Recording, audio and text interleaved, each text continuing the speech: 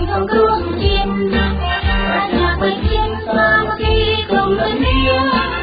ង្គ្រោះមកដល់ការពារកម្ពុជាមកជុំគ្នាទៀនទាសន្តិរីកម្មវិធីសំឡេងសង្គ្រោះជាតិផ្សាយតាមរយៈវិទ្យុសំបុកឃុំ FM 105 MHz ចានាងខ្ញុំយ៉នលីណេតសូមអនុញ្ញាតគោរពនឹងជម្រាបសួរបងប្អូនជនរួមជាតិដែលកំពុងតាមដានស្ដាប់កម្មវិធីសំឡេងសង្គ្រោះជាតិជាទីមេត្រី ចាថ្ងៃនេះគឺថ្ងៃអាទិត្យ9រោចខែកដិកឆ្នាំរកានពស័កពុទ្ធសករាជ2561ចាដែលត្រូវនឹងថ្ងៃទី12ខែវិច្ឆិកាឆ្នាំ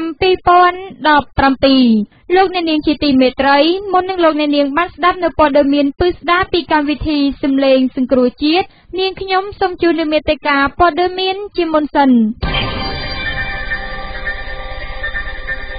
តុលាការក្រុងសួរចម្លើយប្រធានគណៈបកសង្គ្រោះជាតិជាថ្មីម្ដងទៀតនៅឯពន្ធនាគារត្រពាំង tlong ក្នុងខេត្តត្បូងឃ្មុំតែម្ដងនេតិខ្មែរកម្ពុជាក្រោមរួមជាមួយនឹងប្រសាសន៍ថ្នាក់ដឹកនាំគណៈបកសង្គ្រោះជាតិជាបន្តសូមលោកអ្នកនាងតាមដានស្ដាប់នៅការផ្សាយរបស់យើងខ្ញុំ ដែលមានជាបន្តបន្ទាប់ដូចតទៅ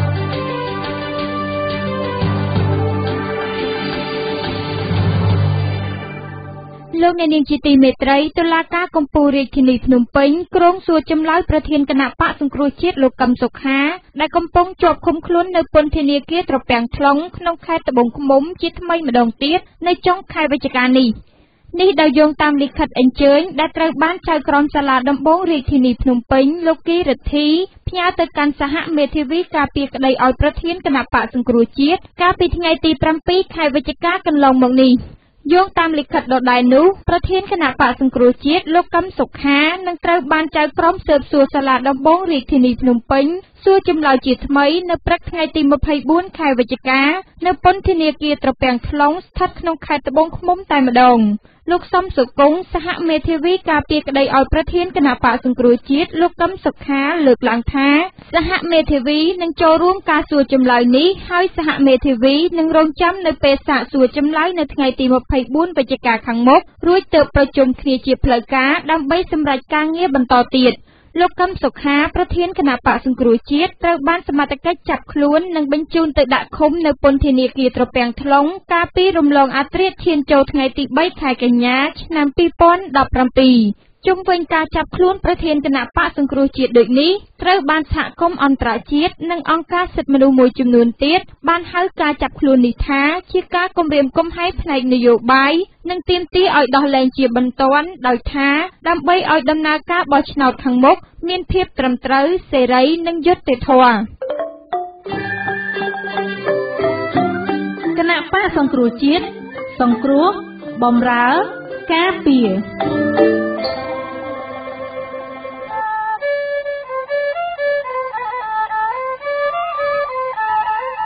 ជាបន្តទៅទីនេះសូមជូននៅដំណឹងពីគណៈបកសង្គ្រោះជាតិសេចក្តីជូនដំណឹងកម្មវិធីសម្លេងសង្គ្រោះជាតិសូមជម្រាបជូនដំណឹងដល់បងប្អូនប្រជាពលរដ្ឋសកម្មជន អ្នកគាំទ្រគណៈបកសង្គ្រោះជាតិទាំងអស់ឲ្យបានជ្រាបថាកម្មវិធីសម្លេងសង្គ្រោះជាតិ ដែលផ្សាយនៅលើរលកធាតុអាកាសវិទ្យុសំបុកឃុំ FM 105ចាប់ពីវេលាម៉ោង13ដល់ម៉ោង14ជារៀងរាល់ថ្ងៃ និងផ្លាស់ប្ដូរការផ្សាយចាប់ពីថ្ងៃនេះតទៅនៅវេលាម៉ោង6:30នាទីព្រឹកដល់ម៉ោង7:30នាទីព្រឹកវិញ អាស្រ័យដូចបានជម្រាបជូនខាងលើ សូមបងប្អូនប្រជាពលរដ្ឋ សកម្មជន អ្នកគាំទ្រគណៈបកសង្គ្រោះជាតិដែលតែងតែតាមដានស្ដាប់ការផ្សាយរបស់យើងតាមពេលវេលានិងម៉ោងខាងលើ សូមជ្រាបជាព័ត៌មានសូមអរគុណហើយអស់លោកអ្នកនាង ជនរួមជាតិនិងបងប្អូនខ្មែរកម្ពុជាក្រោមជាទីមេត្រី នៅថ្ងៃច័ន្ទទី13ខែវិច្ឆិកាឆ្នាំ2017នេះ គឺជាខួបគម្រប់ 48 ឆ្នាំនៃការក្រោកឡើងតស៊ូរបស់ព្រះសង្ឃខ្មែរកម្ពុជាក្រោមធ្វើបាតុកម្មនៅខាងមុខវិមានប្រធានាធិបតីយួនខាងត្បូងទាមទារឲ្យរដ្ឋាភិបាលយួនសងមកខ្មែរកម្ពុជាក្រោមវិញ នៅនេតិជាជនជាតិភាគតិចក្នុងសហគមន៍វៀតណាម កាលពីថ្ងៃទី13ខែវិច្ឆិកាឆ្នាំ1969 នៅពេលនេះនេតិខ្មែរកម្ពុជាក្រមរបស់សំលេងសង្គ្រោះជាតិសូមអនុញ្ញាតរំលឹកឡើងវិញនៅប្រវត្តិសង្ខេបនៃគណៈកម្មាធិការនិងព្រឹត្តិការណ៍ថ្ងៃទី13ខែវិច្ឆិកាឆ្នាំ1969ខ្លះៗមកពុទ្ធពុទ្ធិកាថ្លែងជម្រាបជូនប្រធារានុធិរៈគ្រប់ព្រះអង្គជនរួមជាតិនិងអស់លោកនាងដូចតទៅ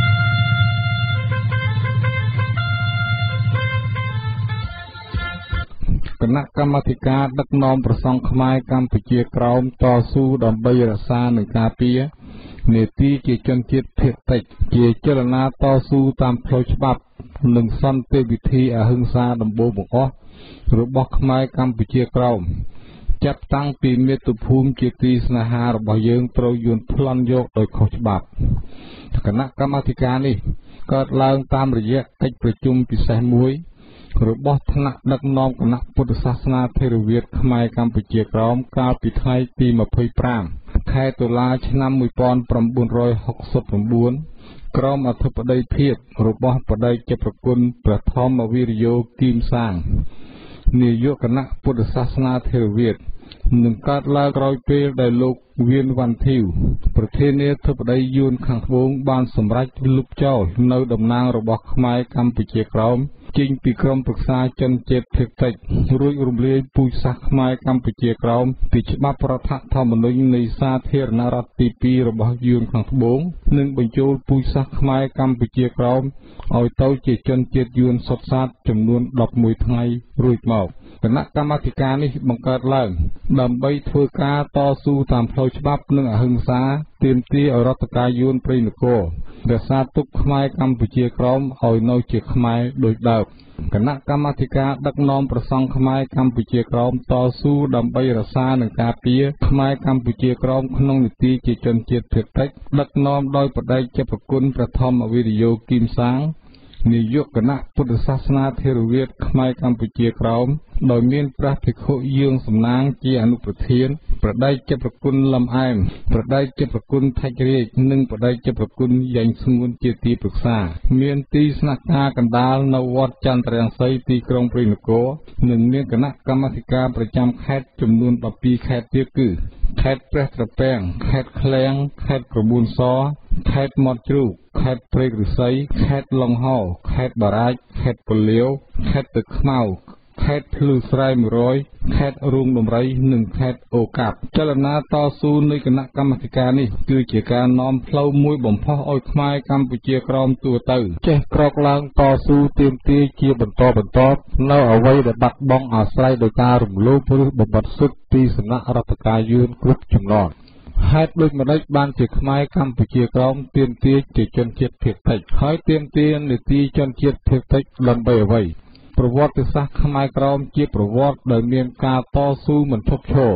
មានស្មារតីស្នេហាជាតិមោះមុត មានចិត្តក្លាហានអង់អាចនិងសាមគ្គីរឹងមាំពេលខ្លះយើងតវ៉ាតាមផ្លូវច្បាប់ពេលខ្លះប៉ះបោដោយកម្លាំងប៉ុន្តែរាល់ការតស៊ូរបស់យើងមិនដែលទទួលបាន ជោគជ័យម្ដងណាឡើយ ព្រោះយើងខ្វះសពខ្វះគ្រប់ ជាពិសេសគឺខ្វះអ្នកដឹកនាំដ៏ប៉ិនប្រសប់នេះឯង ជីវិតខ្មែរក្រមគឺជាជីវិតដែលមានសុភាពដូចជារលកផ្ទុកច្រាំងរស់មួយថ្ងៃគិតមួយថ្ងៃទុកមួយរំលងផុតទៅទុកមួយថ្មីទៀតក៏បានមកដល់ពលគឺទុកបាត់បង់ទឹកដីហើយคล้ายខ្លួនទៅជាជនជាតិភាគតិចក្នុងទឹកដីកំណត់របស់ខ្លួនមិនទាន់រំសាយពីដួងចិត្តផងទុកមួយបានចូលមកដល់ទៀតគឺទុកបាត់បង់សិទ្ធិរស់នៅជាជនជាតិភាគតិចក្នុងទឹកដីកំណើត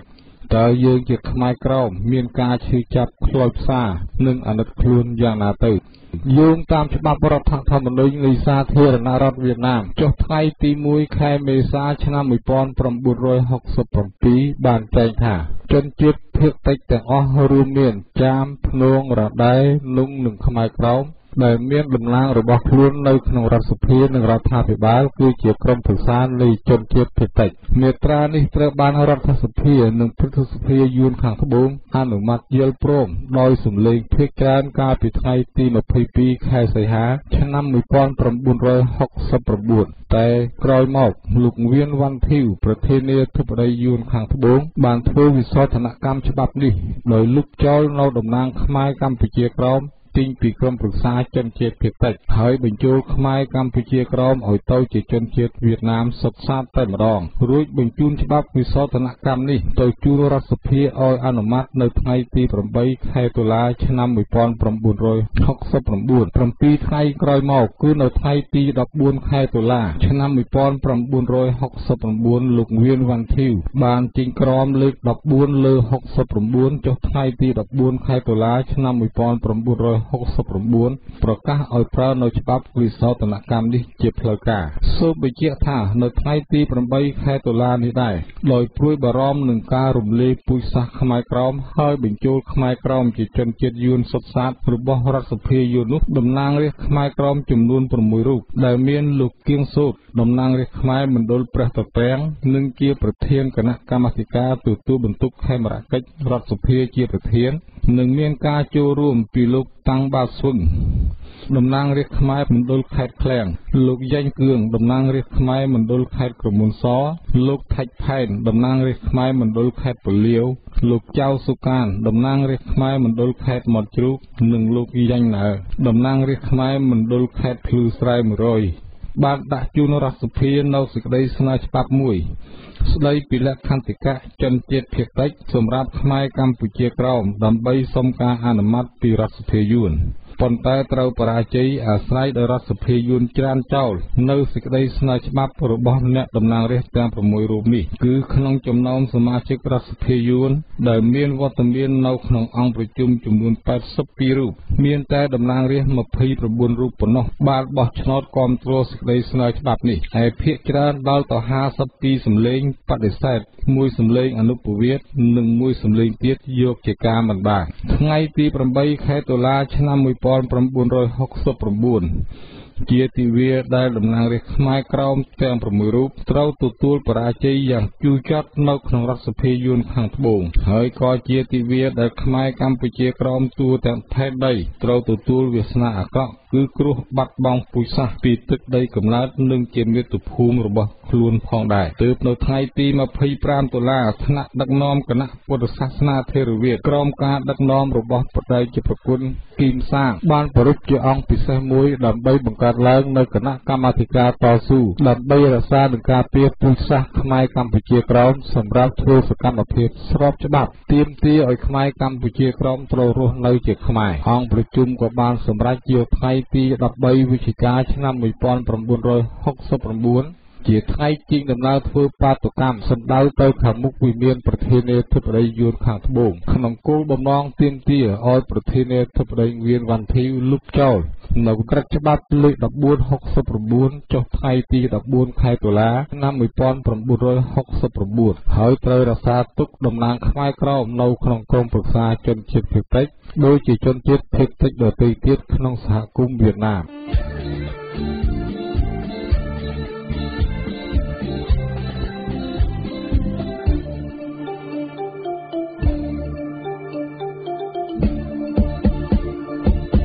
លំដាប់តទៅនេះសូមអញ្ជើញអស់លោកនាងជនរួមជាតិនិងបងប្អូនខ្មែរកម្ពុជាក្រោមស្ដាប់កំសាន្តនៅចម្រៀងខ្មែរកម្ពុជាក្រោមមួយបទដែលមានចំណងជើងថា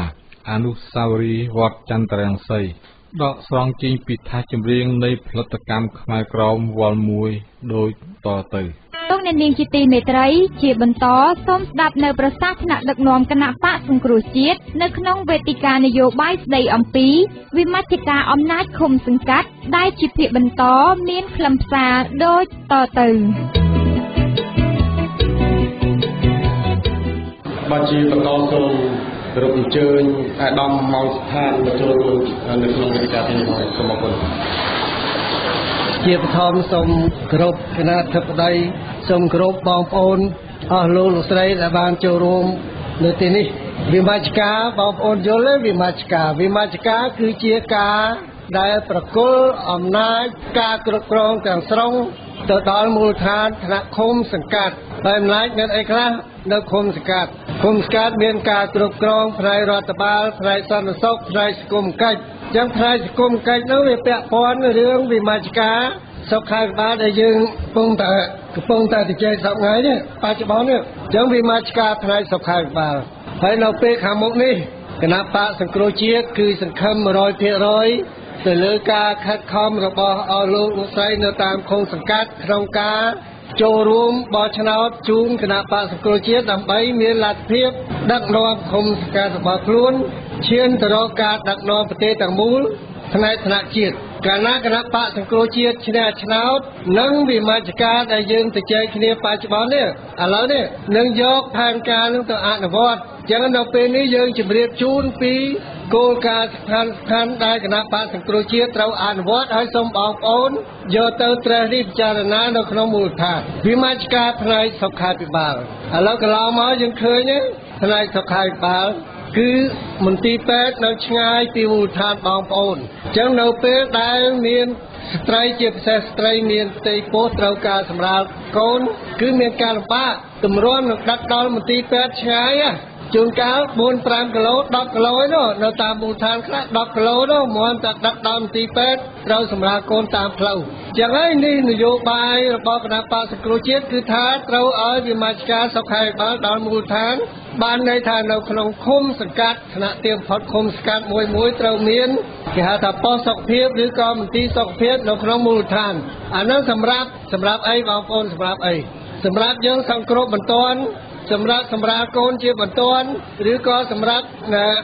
មានជំងឺល្មមល្មមដែលយើងអាចព្យាបាលនៅមូលដ្ឋានបានគឺយើងព្យាបាលសង្គ្រោះជាបន្ទាន់នៅកន្លែងនោះអញ្ចឹងមូលដ្ឋានយើងត្រូវត្រៀមអីខ្លះ បងប្អូនត្រៀមហើយណាព្រោះសម្រាប់នៅពេលអនាគតយើងដឹកនាំគឺត្រៀមអីខ្លះត្រូវត្រៀមធនធានមនុស្សត្រៀមធនធានមនុស្សថាឥឡូវឃុំស្កាត់យើងមានធនធានប្រមាណនេះកូនសិស្សមានប្រមាណត្រូវបញ្ជូនទៅឲ្យរៀនវិជ្ជា វិជ្ជាជីវៈផ្នែកសុខាភិបាលមធ្យមនោះប្រមាណនេះសម្រាប់យកមកគ្រប់គ្រងនៅក្នុងការអនុវត្តវិមាជការនៅក្នុងមូលដ្ឋាននេះអានេះយើងត្រូវត្រៀមមិនចេះតែវិមាជការវិមាជការដល់ពេលយើងកាន់អំណាចអត់មានធនធានមនុស្សចឹងយើងត្រូវត្រៀមហើយចឹងនៅពេលហ្នឹងថ្នាក់ជាតិគេនឹងផ្ដល់ជាបច្ចេកទេសធំធំ ហើយបងប្អូននៅតាមមូលដ្ឋានបញ្ជូនមនុស្សមកសិក្សាថ្នាក់ពេទ្យមធ្យមនឹងសម្រាប់ទៅគ្រប់គ្រងនៅក្នុងមណ្ឌលសុខភាពនៅក្នុងមូលដ្ឋានសម្រាប់សង្គ្រោះជាបន្ទាន់ឬក៏ចាំបាច់ក្នុងការសម្រាលកូនដែលនៅក្នុងមូលដ្ឋានត្រូវការចាំបាច់អានេះជាការដែលយើងត្រូវការត្រៀមចេះថាអេចុះបានលុយមកពីណាគឺលុយ គោលនយោបាយគណៈបកសង្គ្រោះជាតិគឺត្រូវវិមាជការវាយើងវិមាជការទាំងធនធានមនុស្សវិមាជការទាំងថវិកានិងសម្ភារៈផ្សេងផ្សេងសម្រាប់ឲ្យយើងអនុវត្តបានមិនដោយសង្ថ្ងៃនៃវិមាជការតែនៅក្នុងច្បាប់ប៉ុន្តែរាល់ការសម្ភារៈនិងថវិកាគឺតបពីលើដាក់ឲ្យបានយើងអនុវត្តបាននៅក្នុងមូលដ្ឋាននីមួយៗមានធនធានបកគោមានធនធាន មានអីខ្លះ ឃុំសកាត់ខ្លះមានផ្សារឃុំសកាត់ខ្លះមានផ្ទះជួលឃុំសកាត់ខ្លះមានដីសម្រាប់ណែឲ្យវិនិយោគគេធ្វើអាជីវកម្មអាហ្នឹងហើយជាធនធានរបស់មូលដ្ឋានចឹងវិមាជការបានន័យថាបងប្អូនទាទាពុននឹងបានកម្រៃពីមូលដ្ឋានដែលកាន់ក្តាប់ខ្លួនឯងផ្ទាល់ខាងលើណាគ្រាន់តែត្រួតពិនិត្យទេប៉ុន្តែបងប្អូនកាន់ក្តាប់ថាវិការនិងសម្ភារៈផ្ទាល់នៅក្នុងមូលដ្ឋានអានេះយើងត្រៀមសមាធិយើងហើយណាហើយដែល វិមាជការវិមាជការដល់ពេលសង្គ្រោះជាតិយើងឆ្នះឆ្នោតយើងស្អីក៏អត់ដឹងស្អីក៏អត់មានមូលដ្ឋានបាក់ហើយអញ្ចឹងយើងត្រូវត្រៀមឲ្យឃុំស្កាត់បច្ចុប្បន្ននេះត្រៀមទៅយើងធ្វើស្ថិតិប្រជាពលរដ្ឋមានប្រមាណអ្នកចេះដឹងមានប្រមាណហើយត្រូវបញ្ជូនទៅឲ្យនៅរៀនផ្នែកបច្ចេកទេស សុខាភិបាលសម្រាប់យកមកគ្រប់គ្រងពេលវិមាជការគណៈបកសង្គ្រោះជាតិធ្វើវិមាជការឲ្យនឹងមានប្រមាណអ្នកអានោះយើងត្រៀមមកហើយហើយនៅពេលនោះសាលាវិជ្ជាជីវៈនឹងមានហើយបងប្អូនកាលណាមានវិមាជការសាលាវិជ្ជាជីវៈត្រូវតែមានអញ្ចឹងយើងត្រៀមលក្ខណៈហើយសម្រាប់ថាបញ្ជូនកូនចៅយើងដែលនៅមូលដ្ឋានហ្នឹងទៅឲ្យរៀនវិជ្ជាជីវៈផ្នែកអប់រំប្រមាណអ្នក វិជាជីវៈផ្នែកសុខាភិបាលប្រមាណនេះសម្រាប់យកមកគ្រប់គ្រងឃុំសង្កាត់យើងនេះបណ្ឌវិមជ្ឈការមិនមែនទូទៅទេបងប្អូនមានលក្ខណៈសំខាន់មួយផ្នែកដែលរដ្ឋគេគ្រប់គ្រងគ្រប់គ្រងផ្នែកអីខ្លះរដ្ឋគ្រប់គ្រងផ្នែកការពារជាតិបានន័យថាកងទ័ពអានឹងរដ្ឋគេអត់វិមជ្ឈការឲ្យទេ បើផ្នែកអីទៀតផ្នែករូបិយវត្ថុអត់ឲ្យនៅមូលដ្ឋានបោះពុំចាយលុយខ្លួនឯងអត់បានទេណាអានឹងអត់វិមជ្ឈការកើតទេនេះជាចំណុចដែលខ្ញុំលើកជំរាបជូនបងប្អូនថាវិមជ្ឈការមានក្របខ័ណ្ឌប៉ុន្តែផ្នែកអប់រំសុខាភិបាលគឺចាំបាច់ហើយអប់រំសុខាភិបាលកសិកម្មចាំបាច់មិនបានខ្ញុំនិយាយថាអប់រំសុខាភិបាលកសិកម្មចាំបាច់ព្រោះបងប្អូនត្រូវមានកូនចៅនៅក្នុងមូលដ្ឋាន មករៀនអត់បានទេមករៀនឆ្ងាយអត់បានចង់មកបន្តនៅចំណេះដឹងនៅទីក្រុងពិបាកពិបាកថាវិការបាក់គ្រប់គង់ចឹងត្រូវត្រៀមលក្ខណៈបង្កើតសាលានៅក្នុងមូលដ្ឋានរបស់យើងដោយលុយឃុំគ្រប់គ្រងផ្ទាល់ហើយផ្នែកឯបច្ចេកទេសធំធំអ្នកបច្ចេកទេសឬគ្រូបង្រៀនគឺយើងផ្ដល់ពីថ្នាក់ជាតិបើក្នុងករណីដែលមូលដ្ឋានអត់មាន អត់មានគ្រប់អានេះជាលក្ខណៈវិមជ្ឈការផ្នែកអប់រំអញ្ចឹងទី1ត្រូវអប់រំទី2កសកម្មកសកម្មយ៉ាងម៉េចបងប្អូនកសកម្មយើងមើលនៅក្នុងមូលដ្ឋានយើងកាលណាខ្វះទន្លប់បន្លាយយើងធ្វើទន្លប់បន្លាយទៅព្រោះលុយយើងមាន គេវិមជ្ឈការពន្ធដារការគ្រប់គ្រងទ្រព្យសម្បត្តិនៅក្នុងមូលដ្ឋានហ្នឹងចឹងវាមានយើងអាចធ្វើបានណាអឥឡូវសុខាភិបាលដែលយើងនិយាយគ្នាសប្ងាយនេះអនៅក្នុងអឺឃុំយើងប្រមាណ ត្រូវបង្កើតមណ្ឌលសុខភាពប្រមាណ1ឬ2ដើម្បីកុំឲ្យឆ្ងាយគ្នាពេកយើងមើលលទ្ធភាពទៅហើយយើងបង្កើតទៅលុយឃុំមានគាត់តែធ្វើរបាយការណ៍ជូនរដ្ឋទៅថាត្រូវការបង្កើតហើយបើសុំថ្នាក់បច្ចេកទេសពីថ្នាក់ជាតិទៅគេយកបច្ចេកទេសទៅបណ្ដុំបណ្ដាលឲ្យអានឹងអញ្ចឹងវិមាជការគេធ្វើអញ្ចឹងអញ្ចឹងបានន័យថាបងប្អូនកូនចៅយើងនៅមូលដ្ឋានត្រូវមានសមត្ថភាពសម្រាប់ដឹកនាំនិងគ្រប់គ្រងឃុំស្កាត់តខ្លួន ក្នុងទិសដៅទៅគ្រប់គ្រងផ្នែកសុខាភិបាលនៅពេលដែលយើងកាន់អំណាចនាពេលខាងមុខនេះព្រោះនៅសមត្ថភាពក្នុងការដឹកនាំយើងត្រូវត្រៀមណាបើមិនត្រៀមមានការលំបាកហើយបងប្អូនខាងឃុំស្កាត់ហើយមិនដូចឥឡូវគាត់នៅតែចូលឈ្មោះខ្វះក្តារផងអីផងធ្វើចឹងមិនកើតគ្រប់គ្រងទេអត់បានទេធ្វើរបៀបហ្នឹងគាត់ទៅធ្វើនៅលិខិតបញ្ជាក់កំណើតលិខិតបញ្ជាក់ទីលំនៅកន្លែងខ្លះខ្វះក្តារ ធ្វើអញ្ចឹងវាជាលក្ខណៈមួយមិនសមជាការដឹកនាំនៅក្នុងប្រទេសមួយទេអត់ទេអញ្ចឹងនៅពេលដែលវិមាជការអំណាចគឺយើងឃុំស្កាត់ត្រូវមានគ្រប់ស្អីក៏មានស្អីក៏មានសម្រាប់ជួយអភិវឌ្ឍនៅក្នុងឃុំសង្កាត់សម្រាប់ជួយផ្នែកសុខភាពនៅឃុំសង្កាត់សម្រាប់ជួយបណ្ដុះបណ្ដាលនៅក្នុងក្របខ័ណ្ឌឃុំសង្កាត់អញ្ចឹងគ្រាន់តែនយោបាយធំធំកម្មវិធីនយោបាយធំធំក្នុងការ សិក្សាក្នុងការគ្រប់គ្រងគឺថ្នាក់ជាតិគេដាក់ជូនដាក់ជូនហើយថ្នាក់ក្រោមអាចលើកកម្មវិធីបន្ថែមដើម្បីឲ្យសមស្របនឹងការអភិវឌ្ឍនៅក្នុងឃុំសង្កាត់របស់យើងនីមួយៗអានេះខ្ញុំគាត់ទៅជម្រាបជូនត្រួសត្រាសឲ្យឲ្យ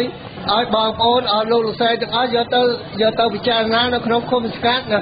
ពិចារណាថាតើផ្នែកសុខាភិបាលយើងនៅពេលសង្គ្រោះជាតិយើងកាន់អំណាចនៅពេលខាងមុខនេះ ត្រូវបង្កើតមណ្ឌលសុខភាពប្រមាណត្រូវការពេទ្យមធ្យមប្រមាណនេះសម្រាប់ទៅជួយបណ្ដុះបណ្ដាលនៅក្នុងមូលដ្ឋានសម្រាប់ជួយធ្វើការនៅក្នុងមណ្ឌលសុខភាពយើងនៅក្នុងឃុំស្កាត់ហ្នឹងអញ្ចឹងយើងត្រៀមមកហើយណាត្រៀមមកហើយហើយត្រៀមធ្វើសម្រងអចលនទ្រព្យនៅក្នុងឃុំស្កាត់បដាបដាទៅយើងដឹងយើងដឹងថាយើងមានអចលនទ្រព្យសាធារណៈប្រមាណ មានសាលារៀនប្រមាណមានផ្សារប្រមាណមានដីទំនេរប្រមាណរបស់រដ្ឋមានអគាររដ្ឋប្រមាណយើងត្រូវដឹងឲ្យហើយណាយើងកំចាន់កំចាន់ដល់ពេលឈ្នះឆ្នោតហើយ ស្ទសួរអីក៏អត់ដឹងសួរអីក៏អត់ដឹងអានឹងយើងគ្រប់គ្រប់គ្រងអត់បានទេអត់មានប្រសិទ្ធភាពទេអញ្ចឹងយើងត្រូវដឹងហើយព្រោះភាកច្រើនអស់លោកលោកស្រីដែលអញ្ជើញមកទីនេះសុទ្ធតែជាសមាជិកសមាជិកាក្រុមប្រឹក្សាឃុំសង្កាត់ហើយជាប្រជាពលរដ្ឋដែលរស់នៅឃុំសង្កាត់ទាំងអស់គ្នាហ្នឹងអញ្ចឹងយើងជជែកគ្នាយើងពិភាក្សាគ្នាដើម្បីរករូបមន្តណាផ្នែក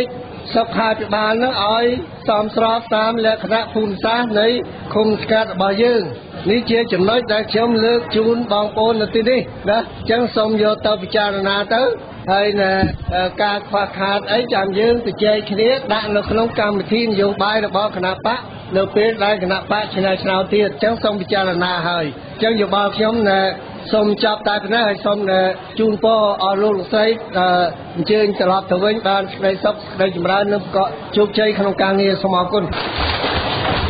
បាទសូមថ្លែងអរគុណយ៉ាងជ្រាលជ្រៅចំពោះអាដាមមកស្ថាននិងមតិចូលរួមនៅក្នុងថ្ងៃនេះបាទជាបន្តសូមគោរពអញ្ជើញអាដាមហូវ៉ាន់ដើម្បីមានមតិអឺនឹងជូនព័ត៌មានថ្មីថ្មីនេះដែលគាត់នឹងជូនទៅលោកស្រីបាទសូមគោរពអញ្ជើញដើម្បីបិទកម្មវិធីបាទជំរាបលាសូមអរគុណខ្ញុំសូមសរុបការងារទាំងអស់គឺថាទី1 យើងបាននិយាយហើយពីសារៈសំខាន់នៃការការពារប្រសើរជាងការព្យាបាលហើយក៏យើងបានជម្រាបជូនពីសេវាដែលត្រូវតែមានថ្នាំពេទ្យត្រូវតែមានវិជ្ជាបណ្ឌិតដើម្បីបម្រើសេវាឲ្យបានទៅដល់ដល់មូលដ្ឋានទីពីរទៀតដើម្បីឲ្យមានវិជ្ជាបណ្ឌិត មានថ្នាំសកលគ្រប់គ្រាន់ត្រូវតែមានថវិកា អាដាមលោកមនីក៏បានជម្រាបហើយបញ្ហាថវិកានៅមូលដ្ឋាន បញ្ហាទី3ដើម្បីឲ្យដំណើរការវិស័យសុខាភិបាលបានល្អវាត្រូវមានធនធានមនុស្សអាដាមមនសផានក៏និយាយពីការកសាងធនធានមនុស្សនៅមូលដ្ឋានឥឡូវនេះយើងឃើញថាបញ្ហាវិមជ្ឈការនេះវាជិតមកដល់ហើយតែយើងជាអ្នកឆ្នោតយើងនឹងរៀបចំតាមគម្រោងនេះប៉ុន្តែមិនមែនទាន់បានអនុវត្តព្រាមទេ ចុះឈ្នះមួយជាន់ហ្នឹងហើយឈ្នះមួយជាន់ទៀត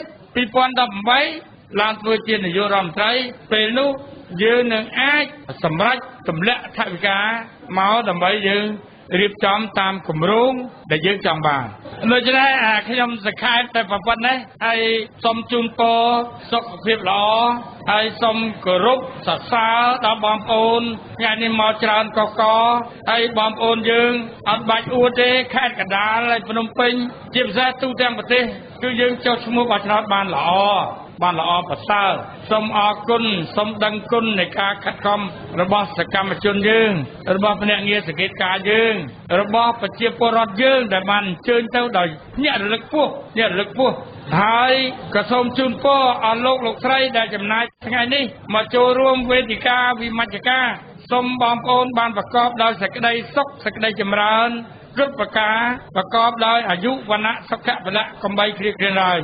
សូមបិទវេទិកាថ្ងៃនេះតែប៉ុណ្ណេះសូមអរគុណបាទលោកអ្នកនាងនិងប្រិយមិត្តអ្នកស្ដាប់ជាទីមេត្រីសំឡេងសង្គ្រោះជាតិដែលលោកអ្នកនាងទើបតែបានតាមដានស្ដាប់នៅវេលានេះចប់តែប៉ុណ្ណេះសំឡេងសង្គ្រោះជាតិ សូមអំពាវនាវដល់បងប្អូនប្រជាពលរដ្ឋគ្រប់មជ្ឈដ្ឋានគ្រប់គ្រងគណៈបកសង្គ្រោះជាតិឲ្យបានច្រើនកកដើម្បីអនាគតរបស់យើង កូនចៅយើងនិងប្រទេសជាតិរបស់យើង